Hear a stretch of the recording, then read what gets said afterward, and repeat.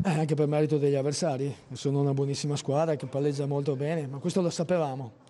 Eh, però un aspetto positivo c'è, nel senso che nei primi 20 minuti potevamo fare anche il secondo, non l'abbiamo fatto, non abbiamo chiuso la partita e con squadre di questo tipo qua se non la chiude poi l'episodio può, può capitare. Devo dire però nell'ultimo quarto d'ora abbiamo avuto tre palle gol importanti che se magari facevi una di queste portavi a casa la partita. Ecco, negli ultimi 20 minuti è passato al 3-5-2 con l'inserimento di Perrotta. È arrivato subito il gol del pareggio, però il 3-5-2 è sembrato essere alla fine il modulo giusto. Sì, la dice lunga su questo, nel senso che secondo me in quel momento della partita era giusto fare, fare in quel modo lì, loro avevano messo le due punte per dare più copertura centrale, ma soprattutto per allargare di più il gioco e metterli in difficoltà.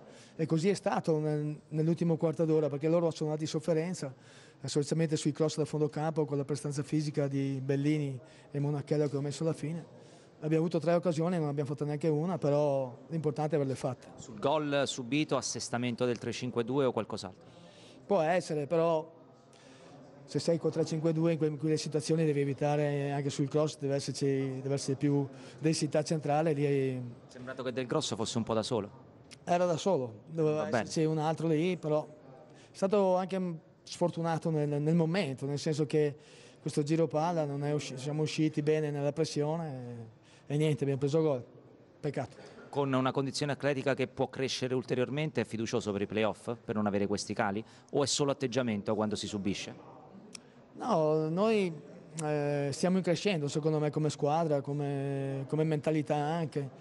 Sapevamo che dovevamo fare una partita anche di sofferenza contro una squadra di questo tipo qua, però vedo una squadra in salute che sta bene, che cresce e sono fiducioso. È chiaro che adesso abbiamo una partita molto difficile a Venezia, dove ha perso in casa mi sembra, e sarà l'ultima chance anche per loro. A noi andiamo a fare 5 a Salerno. Eh, sembra, sembra, tutto facile, quando noi andiamo a Carpi magari vogliamo anche dei gol importanti però sembra tutto facile, poi il Calpi va a Salerno e vince, quanto ha vinto? 4 a 1? 6 a 5. Eh, questa la dice lunga su questo campionato. L'ultima pillone, non mi faccia brutto, io devo riferire quello che ha detto il Presidente, perché ha detto io chiedo più coraggio, certo il Verone è forte, abbiamo fatto una bella partita, però a un certo punto abbiamo messo il pullman davanti alla difesa, testuali parole.